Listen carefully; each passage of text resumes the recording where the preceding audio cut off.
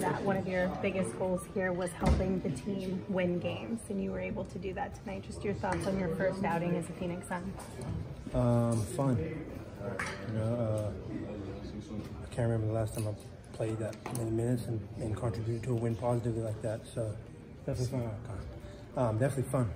So that was that was the first thing, and then you know, like like I said before, contributing to the win and, and us getting the win helps. So yeah, no, but to sum it up, just fun. Great group of guys, great coach, coaching staff.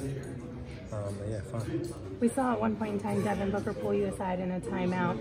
How was how were all of your new teammates and coaches helping you along in this process to bring you up to speed? Really good. Um, making sure that I'm, I'm, you know, I know the plays.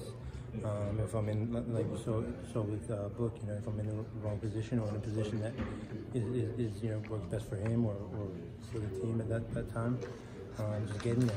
You know, fresh off the plane, whatever it was hours ago, so kind of just calibrating to, to how how we as a team play and, and, and how guys themselves personally play, and then just kind of just working with each each individual, and then it kind of uh, you know happens itself. Just how did you feel out there? Did you feel comfortable? Was it moving fast for you? Just how you describe you know what? I, I thought it was going to move a lot faster. It didn't, um, and that's credit to my teammates and coaches, coaching staff to, to, to slowing the game down and allowing me to you know kind of just not worry about anything. Really, just go out and play.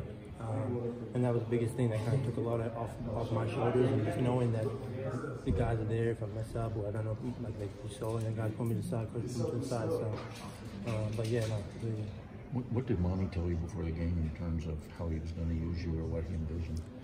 Um, nothing too specific, right? Nothing, nothing too. You're gonna be this, you're gonna be that. Your role is this, your role is that. Just more so, just go and have fun.